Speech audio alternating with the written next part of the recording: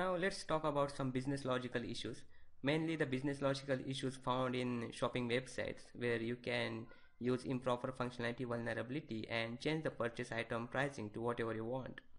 Every application has a different business process, application specific logic and can be manipulated in an infinite number of combinations. So according to OWASP, business logical vulnerability is one that allows the attacker to misuse the application by circumventing the business rules. Most security problems are weaknesses in an application that result from a broken or missing security control. So let's try to jump now let's jump to the some real scenario. We have made here small script cart and shopping cart example. So this is uh, this is the public uh, script which we are using right now here.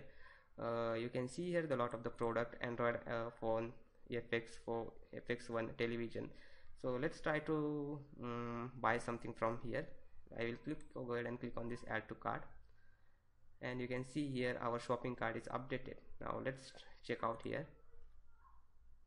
Now you can see here the information about our order television DXT code PD1002 and here is the pricing which is 500 US 500.85 USD so at this let's try some normal process. Let's go ahead and click on the pay now button.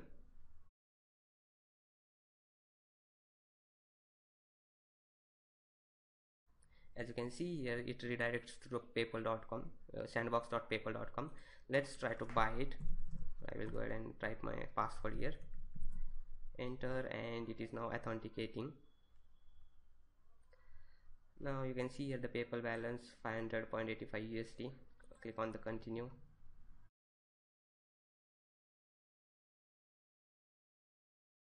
And you can see here the successful message payment received and your product will be sent to you soon you can find here the email id after that uh, you can find here amount 500.85 usd so now let's try to apply some business logical vulnerability here. I'll go ahead and uh, reload this page. Close button so our cart is empty right now. So let's try to again buy this television DXT here. I will go ahead and click on to add to cart. You can see here again the, our shopping cart is updated. Now let's go ahead and check out. Now let's try to find here some bug. Let's try to change this uh, pricing to let's say 5.85 dollar so I will go ahead and click on the inspect element.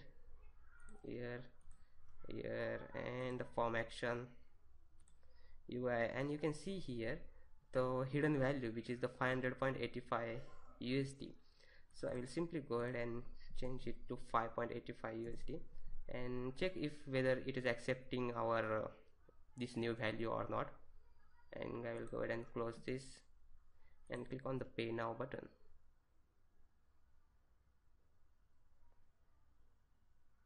So I can you can see here our pricing has been updated the $500 I have changed to the $5.85 now let's check if uh, it's still accepting our payment or not. Let's go ahead and type your password. Now it is authenticating your information. And you can see here the 5.85 USD let's go ahead and click on the continue button here. Loading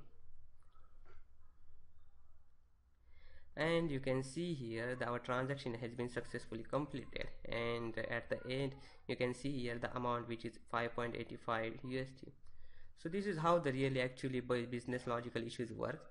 Again I would like to repeat that every application has a different business process. So there is uh, always something different in business logical issues